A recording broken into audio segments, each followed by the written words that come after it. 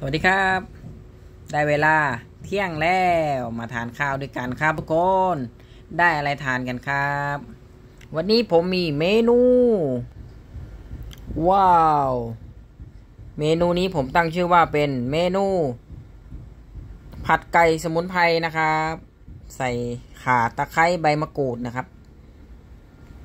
ผัดไก่สมุนไพรทรงเครื่องแล้วกัน มาครับมาครับมาทานด้วยกันครับทุกคนมาเติมพลังกันก่อนนะครับ เที่ยงแล้วก็ต้องทานนะครับ ท้องเขาหิวเราก็ต้องหาอะไร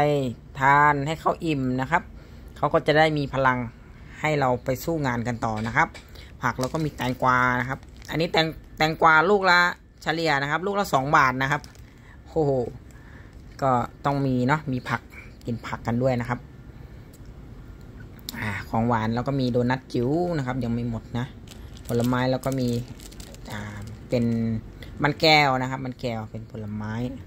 นี่ทีเด็ดทีเด็ดยังไม่หมดครับมะม่วงมะม่วงลูกเล็ก เดี๋ยวทีเด็ดเอาไว้ทีหลังนะครับ ตอนนี้มาทานข้าวก่อนนะครับ ทุกคนมาครับมาครับ